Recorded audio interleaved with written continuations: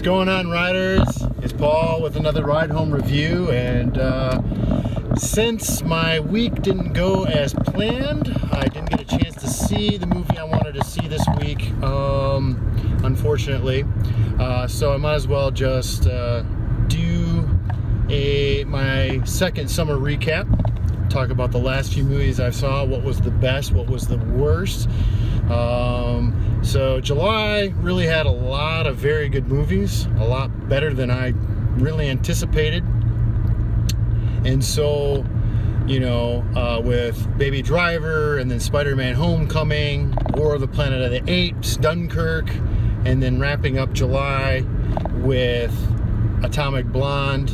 And then after that, I saw The Dark Tower and an Inconvenient sequel. So those were the seven movies I saw over the past few weeks, and I must say they were a good crop of movies. But out of the top, I have to give it to Baby Driver as being not only the best movie out of this crop of five, of seven, but I think it was the best movie of the summer for me. Um, just had all the elements I really enjoyed. It had a great cast great story. This is what Fast and the Furious could have been. Uh, great cinematography, great editing. Um, I thoroughly enjoyed this movie. Will it will it get an Oscar? I don't know. It's hard to say. Pulling a movie from July, um, but you know, if Dunkirk is is Oscar worthy in people's eyes, I think Baby Driver might be able to be at least nominated for some things. I especially think sound design and editing especially.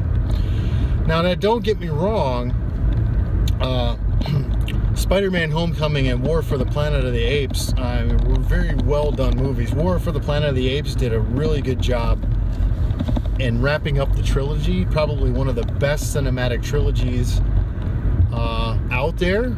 Uh, very underrated. Andy Serkis is great. This the computer generation just gets better and better. And you know and the storyline just gets deeper and deeper. And it's really worth the watch. And spider-man homecoming it was uh, great to see you know tom holland do his thing uh, as spider-man. And it just was a good story wrapped in um, from a teenager's point of view and, and a really good fit for the Marvel universe going, Marvel Cinematic Universe going forward. And finally, uh, you know, Dunkirk, really well done. Like the fact that it didn't have a lot of dialogue to it. And I mean, it was a really good story. And, and once again, the, the technical aspects, the aesthetics, that creative aspect of the editing and the sound um, is really what put that movie over the top. Now, for the movies that movie that I I would say those were for the most part really good movies and then there's The Dark Tower. The Dark Tower was one of the worst movies I've seen in a while. Um,